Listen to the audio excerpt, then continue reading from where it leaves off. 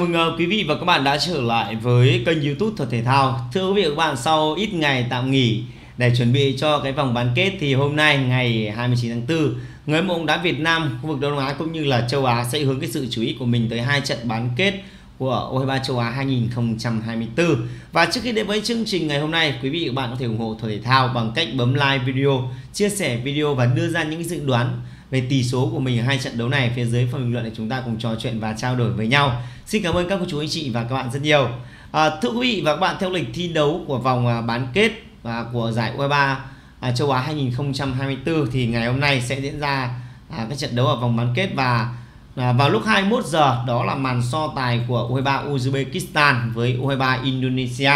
và vào lúc 0 giờ 30 ngày 27 tháng 4 đó là cuộc so tài của U23 Nhật Bản với U23 Iraq thì thực sự đây thực sự mà nói thì đây là hai cặp đấu à, được dự đoán sẽ rất hấp dẫn và kịch tính. Trận đấu vào lúc 21 giờ giữa Indonesia với Uzbekistan là trận đấu mà chắc hẳn là người hâm mộ bóng đá của khu vực Đông Nam Á rất mong chờ cái trận đấu này. Bởi vì sao? Bởi vì chúng ta có U23 Indonesia thi đấu một uh, ứng cử viên một đại diện duy nhất còn lại của khu vực Đông Nam Á trong số 4 đại diện tham dự ở giải đấu này. Thì đối đầu với Uzbekistan là một thử thách mình có thể thấy rằng là đây là cái thử thách lớn nhất của Indonesia từ đầu giải tới giờ. Bởi vì Uzbekistan là cái đội bóng mà là nhà đương kim á quân. Và đội bóng này đã loại nhà đương kim vô địch à, Saudi Arabia khi thắng với tỷ số 2-0 vòng tứ kết vừa qua và khiến cho Saudi Arabia phải nhận thẻ đỏ đấy.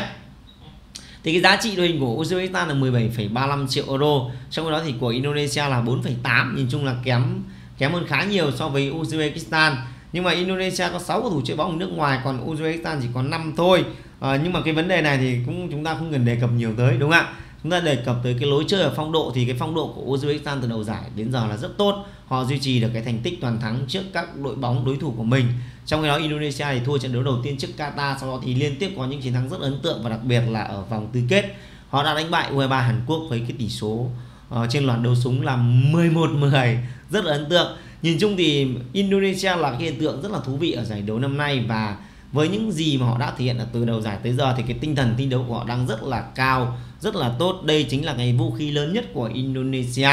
Thì đây sẽ là một thử thách cực kỳ lớn cho Uzbekistan. Tuy nhiên nếu để xét về mặt năng lực chiến đấu và cái khả năng à, có thể tạo ra được sự khác biệt ở trận đấu này thì mình đánh giá Uzbekistan là đội bóng cao hơn và à, cho dù ở lần so tài gần nhất vào năm 2018 hai đội bóng này đã hòa nhau với tỷ số 0 nhưng đây là trận đấu mà loại trực tiếp cho nên là mình đánh giá rất cao cái tinh thần của Uzbekistan cũng như là cái đẳng cấp của Uzbekistan. Mình dự đoán Uzbekistan sẽ đánh bại được Indonesia trong 90 phút để mà giành vé vào vòng à, vào trận chung kết. Trong khi đó thì ở trận đấu còn lại giữa Iraq với Nhật Bản thì đương nhiên là à, đây là trận đấu cũng sẽ rất đáng xem bởi vì sao? Bởi vì Nhật Bản và Iraq là những đội bóng mà đều đã vô địch ở cái sân chơi này rồi. À, hai đội bóng này cũng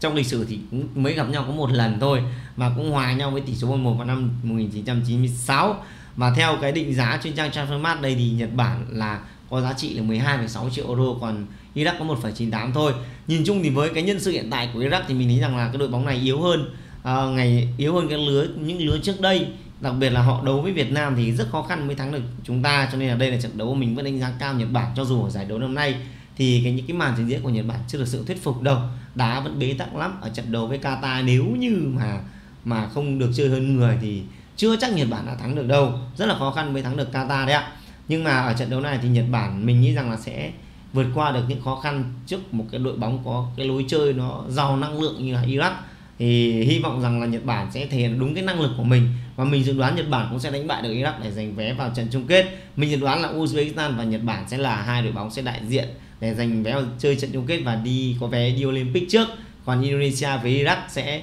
tranh hạng 3 À, đó là nhận định của thời thể thao. Xin cảm ơn quý vị và các bạn đã xem video. Quý vị bạn có dự đoán gì về tỷ số của hai trận đấu diễn ra trong ngày hôm nay Thế để lại ý kiến của mình phía dưới phần bình luận. Quý vị có thể đăng ký kênh và bấm chuông để nhận những thông tin mới nhất liên quan tới bóng đá trong nước và bóng đá quốc tế được thời thao cập nhật liên tục vào mỗi ngày. Xin chào và hẹn gặp lại quý vị và bạn trong những chương trình tiếp theo.